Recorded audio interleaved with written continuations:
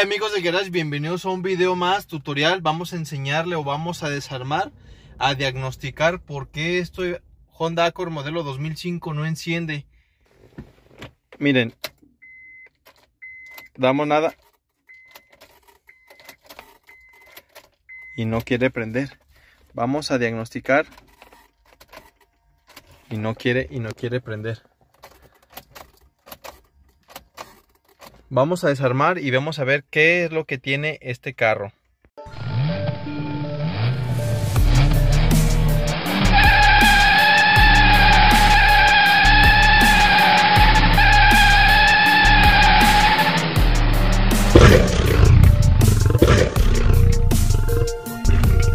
Bueno amigos, en este carro hemos desmontado lo que viene siendo la parte del volante y nos hemos encontrado que tiene una pastilla de encendido y es muy común que en estos vehículos o en cualquier otro falle mucho esto.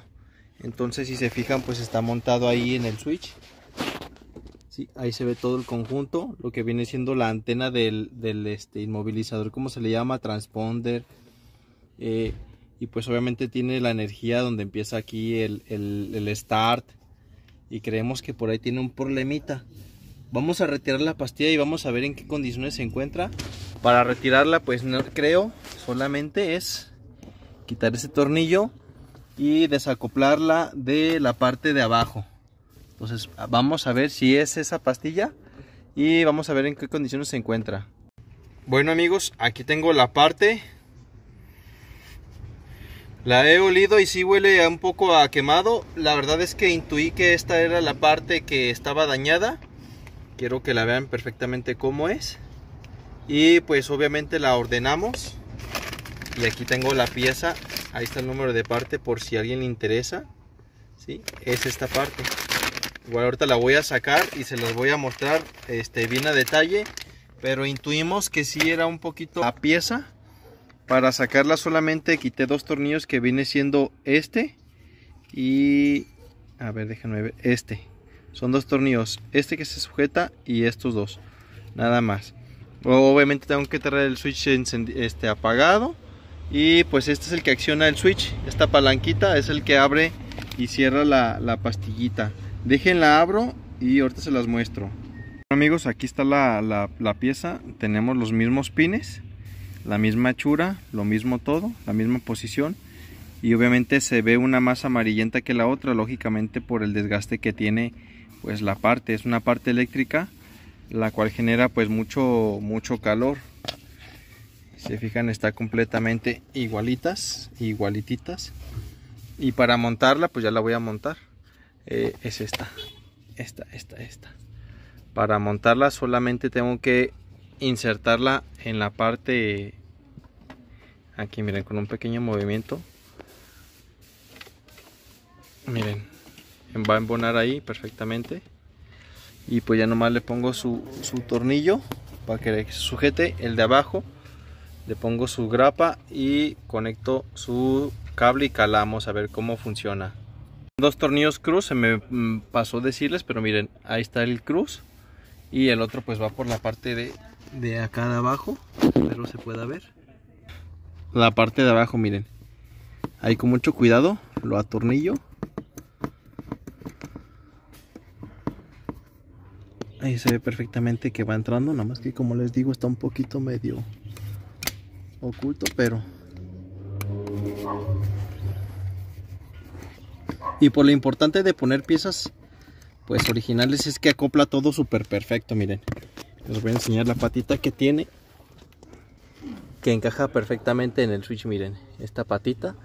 Y pues obviamente queda súper bien acoplado todo el conjunto pues ya nomás me falta lo que viene siendo acoplar la conexión. Déjenmelo lo acoplo.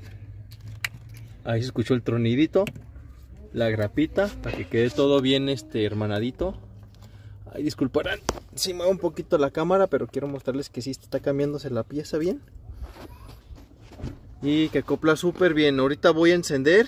Vamos a ver si hay apertura de switch. Aquí tengo mi llave vamos a introducirla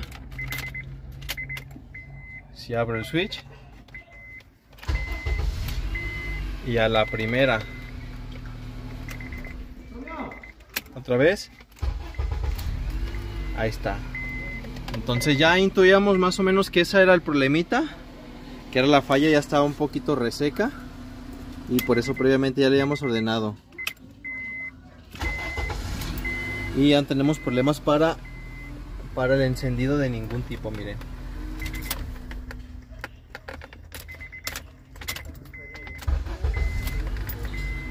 Ese es el problema con este vehículo. Entonces, ya nomás voy a poner lo que viene siendo la tapita. De acá para el protector, que viene siendo pues igual con cuatro tornillitos. Y pues ya queda este vehículo Accord 2005 para que sepan qué es lo que se tiene que hacer. Sepan lo que se tiene que hacer cuando tu carro no da marcha y pues obviamente nosotros nos damos una idea de qué es lo que tiene, hemos hecho unas revisiones y más o menos intuíamos que era eso. Entonces, resequedad en la parte, el olor. Entonces, hemos perdido la autoparte por internet. Nos costó aproximadamente 800 pesos y el envío fue gratis. Entonces, pues una pieza más que tienes que cambiar para tu vehículo ande en perfecto estado. Lo hemos cambiado aquí en garage. Si tú quieres hacerlo en tu casa, un comentario y te decimos más o menos cómo si se te llega a trabar algún este detalle en este en este tutorial. Espero te haya servido, te guste nuestro contenido y sigas apoyándonos aquí en el garage. Gracias. Ni tírala.